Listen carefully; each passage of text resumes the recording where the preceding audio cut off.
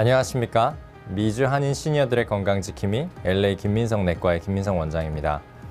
2024년 새해에도 한인 여러분들 가정에 하나님의 평강이 넘치시기를 기원합니다.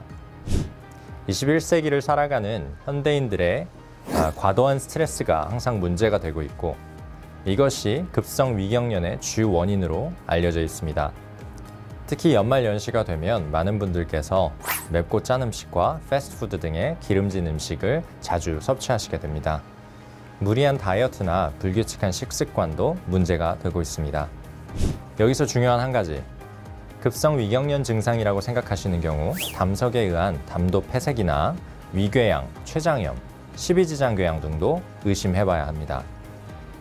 담도 폐색에 의한 급성 통증을 위경련으로 착각하는 경우도 있기 때문에 다른 의학적인 원인은 없는지 면밀히 따져보아야 합니다. 급성 위경련의 예방법을 알려드리겠습니다.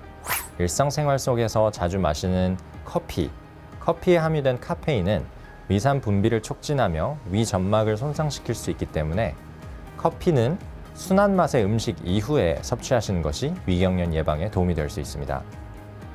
숯불에 구워 먹는 검게 탄 고기나 극도로 매운 캡사이신 함유된 불닭볶음면, 매운 짬뽕, 마라탕 등의 유행이 여러분들의 위 건강을 위협하는 것도 사실입니다.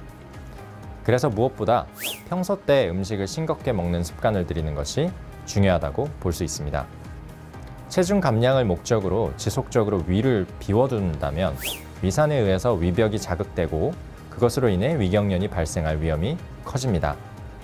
다음 시간에는 제산제 요법 등 급성 위경련 치료 방법에 대해서 말씀드리겠습니다.